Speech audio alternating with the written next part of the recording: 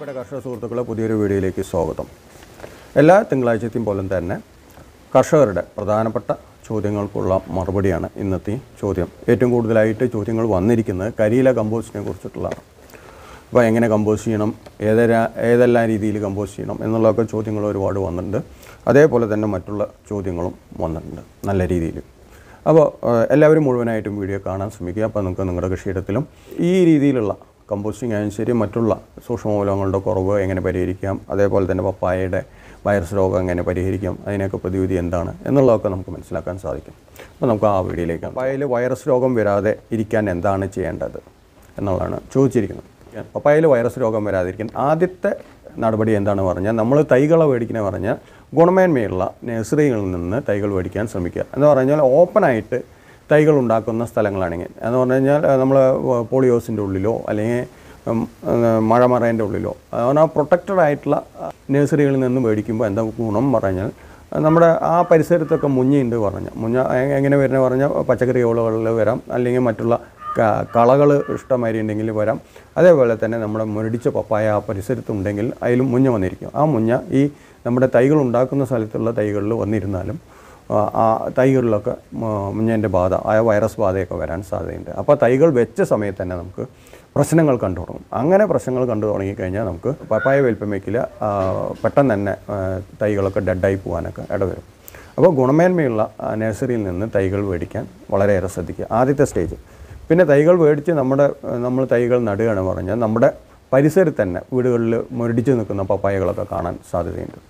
അപ്പോൾ അങ്ങനെയുള്ള പപ്പായകളോ അല്ലെങ്കിൽ നമ്മൾ നമ്മുടെ പറമ്പിൽ കളനിയന്ത്രണമൊക്കെ ഇല്ലാത്ത ഒരു സമയത്തോ അല്ലെങ്കിൽ പച്ചക്കറി വിളകൾ നല്ല രീതിയിൽ കൃഷി ചെയ്യുന്ന സ്ഥലത്തോ അതിലൊക്കെ മുഞ്ഞ വന്നിരുന്നിട്ടുള്ള മുഞ്ഞിന്റെ പറഞ്ഞാൽ അത് അതിൽ നിന്നും ചിലപ്പോൾ വൈറസ് രോഗങ്ങൾ വരാൻ സാധ്യതയുണ്ട്. അപ്പോൾ പപ്പായ മറ്റുള്ള വീട്ടിലുണ്ടെങ്കിലും പോലും നമുക്ക് ഒന്നും ചെയ്യാൻ പറ്റില്ല. അത് മുരടിച്ച് നിൽക്കും. രണ്ടോ മൂന്നോ കൊല്ലമൊക്കെ ആയിട്ട് മുരടിച്ച് നിൽക്കുന്നുണ്ടാവും കറയൊക്കെ ഒലിക്കുന്നുണ്ടാവും. അപ്പോൾ വെട്ടിക്കളയൊന്നുമില്ല ചിലപ്പോൾ അപ്പോൾ അങ്ങനെയുള്ള പപ്പായയിൽ നിന്നും നമുക്ക് നമ്മുടെ പപ്പായയിലേക്ക് പകരാം. പക്ഷേ നമ്മുടെ പപ്പായ വലിപ്പം വെച്ച് കായകൾ വന്ന ശേഷമാണ് വരുന്നത് പറഞ്ഞാൽ നമ്മുടെ കായകൾക്ക് ഒരു ചെറുതായിട്ടുള്ള ഒരു ഡാമേജ് ഒക്കെ ഉണ്ടാവുന്നല്ലെങ്കിലും നമ്മുടെ വീട്ടാവശ്യത്തിനൊക്കെ അത് ഉപയോഗിക്കാൻ സാധിക്കും. അതൊന്നും ഒരു വിഷയമുള്ള കാര്യമില്ല. പക്ഷേ വാണിജ്യപരമായിട്ട് കൃഷി ചെയ്യുന്നവർക്ക് അത് ഉപയോഗിക്കാൻ സാധിക്കില്ല. വിപണിയിൽ കൊടുത്തു കഴിഞ്ഞാൽ വില ലഭിക്കാൻ വളരെ സാധ്യത കുറവാണ്. അപ്പോൾ അങ്ങനെയുള്ള സമയത്ത് നമ്മൾ എന്താ ചെയ്യുക പറഞ്ഞാൽ തൈകൾ വെച്ച് തുടങ്ങി ആയാൽ തന്നെ നമ്മൾ വൈറസ് രോഗത്തിനെ പ്രതിരോധിക്കാൻ. അത് പറഞ്ഞു കഴിഞ്ഞാൽ മൊസൈക്ക് രോഗം എന്നാണ് ഇതിന് പറയപ്പെടുന്നത്. ഈ മൊസൈക്ക് രോഗത്തിന് റിംഗ് സ്പോട്ട് ഡിസീസ് എന്നാണ് ഇതിന് പറയുന്നത്. അപ്പോൾ അതൊരു അത് ഒരു തരം മൊസൈക്ക് രോഗമാണ്. ആ മൊസൈക്ക് രോഗം വരാതിരിക്കാൻ നമ്മൾ ചെയ്യുന്നത് പറഞ്ഞാൽ വേപ്പെണ്ണ എമർഷൻ ഉണ്ടാക്കിയിട്ട് സ്പ്രേ ചെയ്ത് കൊടുക്കുക ഇലകളിൽ. ഒരു പതിനഞ്ച് ദിവസം കൂടുമ്പോൾ പത്ത് തൊട്ട് പതിനഞ്ച് ദിവസത്തിന്റെ ഇടയിൽ ഇടവേളയിൽ നമുക്ക് സ്പ്രേ ചെയ്ത് കൊടുക്കാം. അപ്പോൾ എമർഷൻ ഉണ്ടാക്കുക പറഞ്ഞാൽ അഞ്ച് വേപ്പെണ്ണ എടുക്കുക. ഒരു ഒരു ലിറ്റർ വെള്ളത്തിന് പത്ത് ഗ്രാം സോപ്പ് ബാർ സോപ്പും കൂടി ലയിപ്പിച്ചിട്ട് നന്നായിട്ട് മിക്സ് ചെയ്ത് കഴിഞ്ഞാൽ നമുക്ക് ഇലകളിൽ സ്പ്രേ ചെയ്ത് കൊടുക്കാം. അപ്പോൾ ഇലകളിൽ ഇത് സ്പ്രേ ചെയ്ത് കൊടുക്കുമ്പോൾ മുഞ്ഞൊന്നും ഇലകളിൽ വന്നിരിക്കില്ല. അങ്ങനെയാണ് നമ്മളതിനെ പ്രതിരോധിക്കുന്നത്.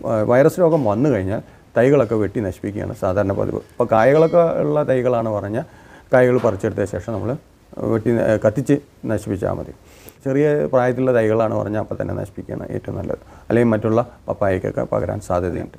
ഫിഷാമിനോ ആസിഡ് എപ്പോഴാണ് സ്പ്രേ ചെയ്യേണ്ടത്? നമ്മൾ സാധാരണ ഫിഷാമിനോ ആസിഡ് പൂവ് പരാഗണം നല്ലപോലെ നടക്കാനും പൂ സെറ്റാവാനൊക്കെ വേണ്ടിയിട്ടാണ് നമ്മൾ ഫിഷാമിനോ ആസിഡ് സ്പ്രേ ചെയ്യുന്നത്. അതേപോലെ തന്നെ പൂവ് തന്നെ ചെറിയ ചെറിയ പ്രാണികളൊക്കെ വന്നിരുന്നിട്ട് പൂമ്പൊടികൾക്ക് പോവാറുണ്ട്. അപ്പോൾ അത് പരാഗണം നടക്കാനൊക്കെ ബുദ്ധിമുട്ടുണ്ട്. അങ്ങനെയുള്ള സമയത്ത് നമ്മൾ പൂട്ട സ്റ്റേജ് മുതലാണ് നമ്മൾ ഫിഷ് ആസിഡ് സ്പ്രേ ചെയ്ത് കൊടുക്കുക. മൂന്ന് തൊട്ട് അഞ്ച് എം എൽ വീതം എടുത്തിട്ടാണ് നമ്മൾ സ്പ്രേ ചെയ്ത് കൊടുക്കുക.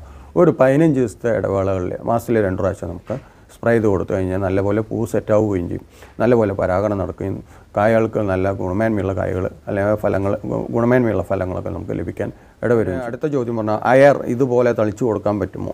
അത് പറഞ്ഞാൽ സമ്പൂർണതിനെ കുറിച്ച് ഞാൻ ഒരു വീഡിയോ ഇട്ടുണ്ടായിരുന്നു സൂക്ഷ്മമൂലക്കൂട്ട് ഓർഗാനിക് ആയിട്ടുള്ള ഒരു സൂക്ഷ്മമൂലക്കൂട്ടിനെ കുറിച്ച് വീഡിയോ ഇട്ടുണ്ട് അതിലാണ് ചോദിച്ചിരിക്കുന്നത്. അയറ് പറയുന്നത് അധികം നമ്മൾ വാഴയ്ക്ക് പപ്പായയ്ക്ക് കുരുമുളകിനൊക്കെ ഇട്ട് കൊടുക്കുന്ന ഒരു സൂക്ഷ്മമൂലക്കൂട്ടാണ് അത് നമ്മൾ എപ്പോഴും മണ്ണിലാണ് അപ്ലൈ ചെയ്യുന്നത്. അത് സ്പ്രേ ചെയ്ത് കൊടുക്കാറില്ല. സ്പ്രേ ചെയ്ത് കൊടുക്കാൻ പറ്റുമോ എന്നുള്ളത് അറിയില്ല. ഞാൻ ഇതുവരെ ചെയ്ത് കൊടുത്തിട്ടില്ല. അയറൊക്കെ ഞാൻ മണ്ണിലിട്ട് കൊടുക്കുകയാണ് നേരിട്ടിട്ട് കൊടുക്കുന്നത് അപ്പോൾ സമ്പൂർണ പച്ചക്കറി വിളകൾക്കാണ് കൊടുക്കുന്നതെങ്കിലും വാഴയ്ക്ക് കൊടുക്കുന്ന സ്പ്രേ ചെയ്ത് കൊടുക്കുന്ന സമ്പൂർണ ഇറങ്ങിയിട്ടുണ്ട്. അതേപോലെ തന്നെ നെല്ലിന് സ്പ്രേ ചെയ്ത് കൊടുക്കുന്ന സമ്പൂർണയും ഇറങ്ങി ഇറങ്ങിയിട്ടുണ്ട്. അത് മൂന്ന് രീതിയിലും സമ്പൂർണ ഇറങ്ങിയിട്ടുണ്ട്. പയറിന് പകരം നമുക്ക് സമ്പൂർണനെ മേടിച്ച് കഴിഞ്ഞാൽ സ്പ്രേ ചെയ്ത് കൊടുക്കാൻ പറ്റും എന്നുള്ളതാണ് എന്റെ ഒരു പൊതുവായിട്ടുള്ള ബോറോണിന്റെ കുറവുണ്ട് ചെടികളിൽ കായകളിലും വരുന്ന വ്യത്യാസങ്ങൾ എന്താണ്? ബോറോണിന്റെ കുറവുകൊണ്ട് വളരെയേറെ വ്യത്യാസങ്ങൾ പ്ലാന്റിനുണ്ട്. അതുകൊണ്ട് വേര് മുതൽ നമ്മുടെ ഇലകളുടെ അഗ്രഭാഗം വരെ അതേപോലെ തന്നെ കായകളുടെ അഗ്രഭാഗം വരെ നമുക്ക് മറ്റുള്ള വളങ്ങളായാലും ശരി വെള്ളങ്ങൾ വെള്ളമായാലും ശരി അതേപോലെ തന്നെ ചെടികൾക്ക് ആവശ്യമായ ഊർജവും പഞ്ചസാരയൊക്കെ സപ്ലൈ ചെയ്യുന്നത് ബോറോൺ ഉണ്ടെങ്കിൽ സാധിക്കുള്ളൂ. എന്താ പറഞ്ഞു കഴിഞ്ഞാൽ നമ്മുടെ നമ്മുടെ ചെടികൾക്ക് അതിലുള്ള സെല്ലുകൾ ഡെവലപ്പ് ചെയ്യാൻ നമുക്ക് കാൽസ്യത്തിന്റെ അത്യാവശ്യമുണ്ട്. സെല്ലുകൾ ഡെവലപ്പ് ചെയ്ത് കഴിഞ്ഞാൽ അതിൽ ഡിവിഷൻ ചെയ്യും. മതിലുകൾ കെട്ടും. ആ മതിലുകൾ കെട്ടണമെങ്കിൽ ബോറോണിന്റെ അത്യാവശ്യമുണ്ട്. മതിലുകൾ കൃത്യമായിട്ട് കെട്ടിയിട്ടില്ല പറഞ്ഞാൽ വെള്ളത്തിന്റെയും അതേപോലെ തന്നെ നമ്മൾ കൊടുക്കുന്ന വളത്തിന്റെയും സഞ്ചാരം കൃത്യമായിരിക്കില്ല. അപ്പോൾ നമ്മൾ ചെടികളുടെ ചുവട്ടിൽ വളം ഇട്ട് കൊടുക്കുന്നുണ്ടാവും വേരുകൾ വലിച്ചെടുക്കുന്നുണ്ടാവും. പക്ഷേ അതിന് കൃത്യമായിട്ട് ഇലകളിലും അഗ്രഭാഗത്തുള്ള ഇലകളിലും കായകളിലും എത്താൻ ബുദ്ധിമുട്ടുണ്ടാവും. അങ്ങനെ വരുമ്പോൾ കായകളുടെ ഷേപ്പ് മാറാം ക്വാളിറ്റി മാറാം മധുരം കിട്ടാതിരിക്കാം പെട്ടെന്ന് തന്നെ അഴുകാൻ സാധ്യതയുണ്ട്. അങ്ങനെയുള്ള പല പല പല പ്രശ്നങ്ങളുണ്ടാവും. പക്ഷേ ബോറോൺ നമുക്ക് കാര്യമായിട്ട് ആവശ്യമില്ല. വിളകൾക്ക് എന്നാൽ മാസത്തിൽ ഒരു പ്രാവശ്യം പച്ചക്കറി വിളകൾക്ക് സ്പ്രേ ചെയ്യേണ്ട ആവശ്യമുള്ളൂ. രണ്ട് ഗ്രാം അത്രേ ആവശ്യമുള്ളൂ. പക്ഷേ അത് വളരെ പ്രധാനമാണ്. വളങ്ങൾ നമ്മൾ ചെടിയുടെ ചൂട്ടിലിട്ട് കൊടുത്തു കഴിഞ്ഞാൽ അഗ്രഭാഗത്തേക്ക് എത്തില്ല. എന്ന് പറഞ്ഞാൽ ഫ്രൂട്ടിന്റെ അഗ്രഭാഗത്തും എത്തണം അതേപോലെ തന്നെ ഇലകളുടെ അഗ്രഭാഗത്തും എത്തണം. ഇപ്പോൾ തക്കാളിയിലൊക്കെ അടിഭാഗത്ത് ചീച്ചിലൊക്കെ കാണുന്നുണ്ടല്ലോ. കാൽസ്യത്തിന്റെ ഡെഫിഷ്യൻ ഉണ്ട്. കാൽസ്യം ഇട്ട് കൊടുക്കുന്നുണ്ടാവും പക്ഷേ എത്തുണ്ടാവില്ല അപ്പോൾ അത് സഞ്ചാരം നിയന്ത്രിക്കാൻ നമുക്ക് ഇലകളിൽ വരെയുള്ള സഞ്ചാരം മറ്റു വളങ്ങളുടെയും വെള്ളത്തിന്റെയും പഞ്ചസാരയുടെയും എന്തിന്റെയാണെന്ന് പറഞ്ഞാലും ഊർജത്തിന്റെയും ഒക്കെ സഞ്ചാരം നിയന്ത്രിക്കാൻ നമുക്ക് ബോറോൺ അത്യാവശ്യമാണ്. അതേപോലെ തന്നെ നല്ല രീതിയിൽ പരാഗണം നടക്കുന്നുണ്ടെങ്കിൽ ബോറോൺ അത്യാവശ്യമാണ്. വളരെ പ്രധാനപ്പെട്ട ഒരു സൂക്ഷ്മമൂലമാണ് അടുത്ത ചോദ്യം എന്ന് പറഞ്ഞാൽ കാൽസ്യം നൈട്രേറ്റ് പോലുള്ള വളങ്ങൾ തളിച്ചു കൊടുക്കേണ്ടത് രാവിലെയാണോ വൈകിട്ടാണോ എന്നാണ് ചോദിക്ക ചോദിച്ചിരിക്കുന്നത്. ഇപ്പോൾ കാൽസ്യം നൈട്രേറ്റ് പോലത്തെ വളങ്ങളല്ല. ഏത് വളങ്ങളായാലും നമ്മൾ സ്പ്രേ ചെയ്ത് കൊടുക്കുന്നത് രാവിലെ ആയിരിക്കണം. എന്താ പറഞ്ഞു കഴിഞ്ഞാൽ നമ്മുടെ സൂര്യപ്രകാശം ലഭിക്കുന്ന സമയത്താണ് വിളകളെല്ലാം അതിന്റെ ഊർജം ആ ഊർജം ആ സൂര്യപ്രകാശത്തിൽ നിന്നുള്ള ആ ഊർജം ഉൾക്കൊണ്ടുകൊണ്ട് വിളകൾക്ക് ആവശ്യമായ പ്രവർത്തനം നടക്കുന്നത്. അപ്പോൾ ആ നടക്കുന്ന സമയത്ത് നമ്മൾ എന്ത് വളം കൊടുത്താലും വളരെ എഫക്റ്റീവായിരിക്കും അത് പറഞ്ഞാൽ നമ്മൾ കൊടുക്കുന്ന വളങ്ങൾ മുഴുവൻ ഇലകൾ വലിച്ചെടുക്കുകയും ചെടികൾ അതിനനുസരിച്ച് പാകം ചെയ്യും. ഒരു നാല് ടു അഞ്ച് മണിക്കൂർ കൊണ്ട് തന്നെ ഇലകൾക്ക് വ്യത്യാസം വരും. അല്ലെങ്കിൽ വിളകൾക്ക് നല്ല വ്യത്യാസം ഉണ്ടാകും അപ്പോൾ ആ എഫക്റ്റ് ലഭിക്കണം പറഞ്ഞാൽ രാവിലെ തന്നെ സ്പ്രേ ചെയ്യണം. സ്പ്രേ എന്ന് പറഞ്ഞാൽ നമ്മൾ മഞ്ഞ് കാലത്തൊക്കെയാണ് പറഞ്ഞാൽ ക്ലൗഡി ആയിട്ടിരിക്കുന്ന സമയത്താണെങ്കിൽ എട്ട് മണിയായാലും കുഴപ്പമില്ല. ഒമ്പത് മണിയായാലും ചിലപ്പോൾ കുഴപ്പമില്ല. എന്ന് പറഞ്ഞാൽ ചില സ്ഥലത്തൊക്കെ സൂര്യപ്രകാശം വളരെ പതുക്കെ എത്തുള്ളൂ.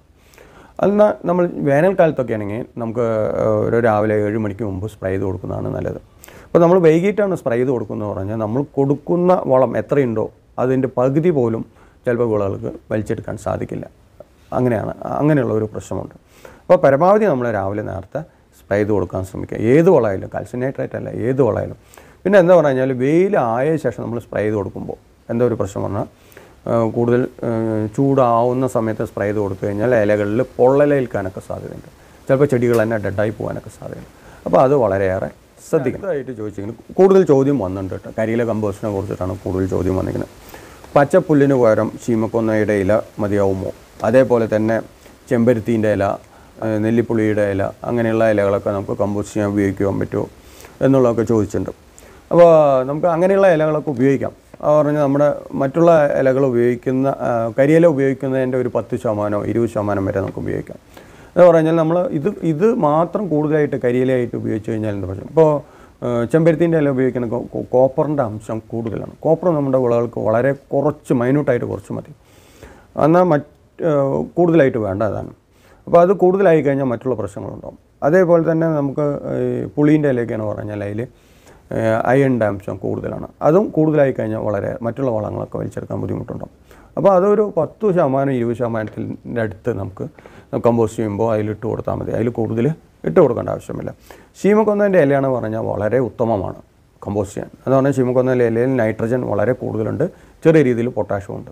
അപ്പോൾ നമുക്ക് കരിയിലയിൽ ഏറ്റവും കൂടുതൽ കാർബണാണ് അപ്പോൾ കാർബൺ നൈട്രജൻ അനുബോധം നല്ല രീതിയിലാക്കാൻ നമുക്ക് ശീമക്കൊന്ന ഇല കൊണ്ട് നമുക്ക് സാധിക്കും. അവസാനമായിട്ട് വന്നിരിക്കുന്ന ചോദ്യം വളരെ പ്രധാനപ്പെട്ടാണ്. കുമ്മായ കലക്കിയ വെള്ളം ഒഴിച്ചു കൊടുക്കാൻ പറ്റുമോ? കുമ്മായത്തിന്റെ ചൂട് കൊണ്ട് കമ്പോസ്റ്റ് പ്രോസസ്സ് നടക്കുമോ എന്നാണ്. കരിയില കമ്പോസ്റ്റിലാണോ വന്നിരിക്കുന്നത്.